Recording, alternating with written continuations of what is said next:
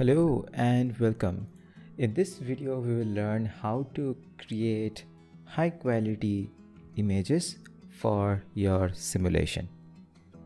So imagine uh, this is a model. This is just for example. Imagine that this is your plot. Okay, this is the simulation result you have got and you want to save this image to showcase uh, maybe in your presentation or somewhere. So how to save this model in high quality. First of all, make sure that you have set the particular angle or particular uh, dimension of the model. And then what you have to do is you can click here so that the model will fit in a particular position. Suppose that you have already zoomed to different region. You click on this button and it will go back to the default size. Let's say I want the model to look something like this okay? Then you have to go to image snapshot. Click on image snapshot. Here you'll get a window. So what you can do is you can change the ratio of the dimension and make sure that your DPI is high enough so here I have 300 and then instead of clipboard you can select file or let it be clipboard. Uh, there is no problem with it. And if you want you can include the title and axis for now I don't want to include anything.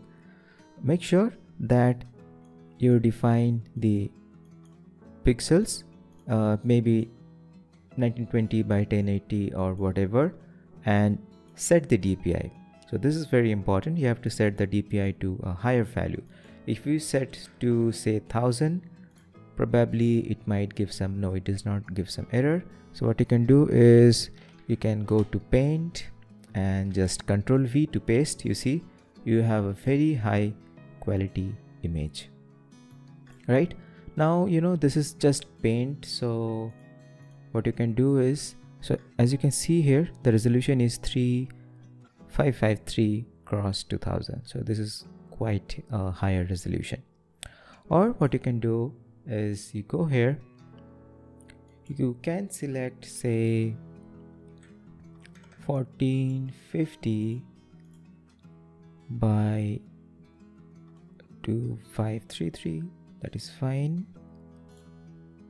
Okay okay uh, one thing you have to note is that your dimension should not exceed 4096 so I can put 4000 and then I can press OK. I can go to paint and then I can press ctrl V.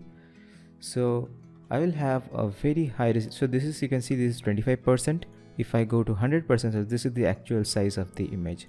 Even if you print the image on a very large canvas it should look good. So this is as crisp as a vector image right? Now just to save it is not a big deal. Just click on save as go to desktop.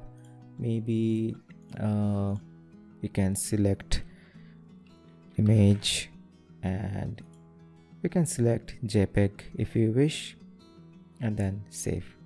So the image is saved. So this is how you save high quality images from COMSOL. Also you can explore the print option but I don't like the print option much. For me image snapshot works just fine.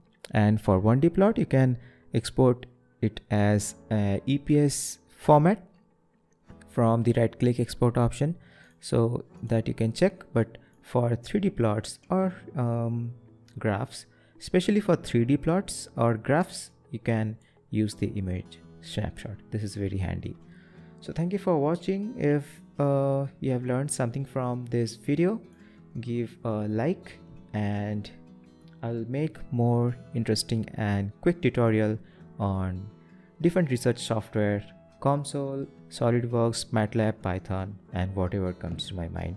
Thank you for watching and take care.